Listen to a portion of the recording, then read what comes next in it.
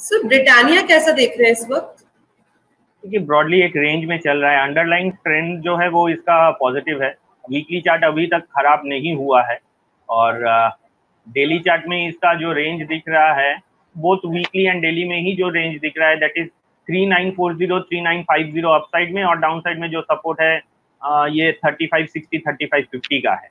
जब तक three nine five zero three nine six zero को क्रॉस नहीं करता है, कोई मेजर मूव नहीं मिलेगा।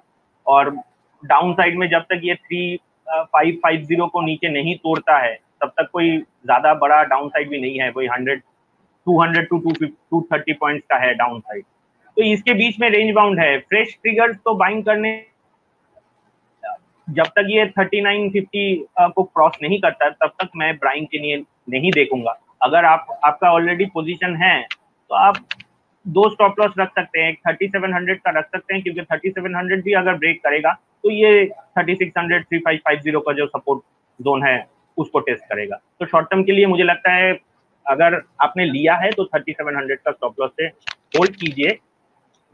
और अगर आपने, आप फ्रेश लेना चाहते हैं तो एक बार three nine five zero three nine six zero को क्रॉस करने तो ये थी राय ब्रिटानिया के ऊपर।